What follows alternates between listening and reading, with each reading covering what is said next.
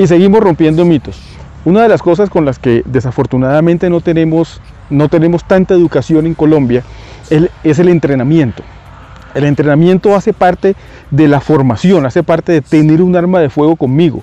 Yo entreno porque tengo que ser mejor con mi arma de fuego. Yo no entreno eh, simplemente porque quiero ir a disparar unos cartuchos o porque me voy a, a, un polígono, me voy a un campo de tiro, hago 10 tiros a una silueta y ya para eso me devolví porque ya quedé entrenado. No, entrenamiento es ser asertivo, es tomar un arma de fuego y utilizarla de la manera correcta para que ese momento en el que nunca quisiéramos que llegara, en el que yo tenga que utilizar mi arma de fuego, yo tenga la ventaja. Y no tenga la ventaja porque tenga más municiones, porque tenga más balas o porque tenga el calibre más grande. No, mi ventaja tiene que estar completamente enfocada a que mi entrenamiento fue mejor que el entrenamiento del bandido.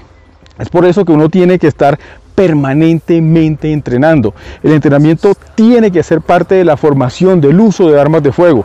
Cuando, cuando adquirimos un arma de fuego, la mayoría de nosotros, bueno, eh, las fuerzas y toda la cosa no nos piden nada, pero cuando adquirimos un arma de fuego en Colombia nos exigen que tenemos que tener un curso de manejo de armas. Ese curso de manejo de armas es básico, es el mínimo, no puede convertirse en el top hay que ir a entrenar, hay que asistir a los polígonos, hay que aprender a desenfundar el arma, hay que aprender a cargarla, hay que aprender a, disparar con una mano, hay que aprender a disparar con la otra mano, hay que aprender a disparar en movimiento. Todo eso tenemos que aprender a hacerlo y todo eso lo tenemos que hacer aquí. Eso es de alguna manera como aquellas personas que tienen un carro y nunca lo conducen, nunca lo manejan. Y de pronto un día deciden que quieren ir al autódromo a dar vueltas. Lo más seguro es que se van a estrellar, van a tener un accidente. Y la razón no es porque no sepan manejar, no, porque seguramente sabrán manejar. La razón es que no tienen la experiencia manejando ese vehículo. Igual sucede con las armas de fuego. Entonces muchachos, el llamado es, muchachos y muchachas, bueno, muchachos en general, el llamado es, vengan, entrenen. Y entrenar no es tomar una silueta, hacer 5 o 10 disparos al 10 y decir ya yo entrené.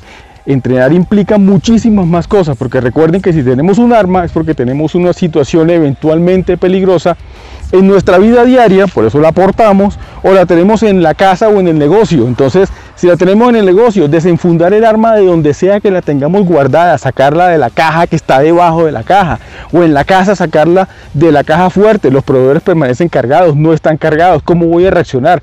¿Cómo me voy a mover dentro de mi casa? Eso sin contar todo lo que ocurre en la calle. Entonces, muchachos, el entrenamiento tiene que ser obligatorio. Lo que pasa es que el Estado no nos va a obligar a, hacer algo que tiene, que tiene que nacer de nosotros mismos. Tenemos que entrenar, tenemos que venir a entrenar, tenemos que tomar cursos. ¿Para qué? Para ser simplemente mejores. Y el día que necesitemos utilizar un aparato de estos, no vayamos a cometer tantos errores como deberíamos poder haber evitado si estuviéramos entrenando. Entonces, entrenen muchachos, hay que entrenar.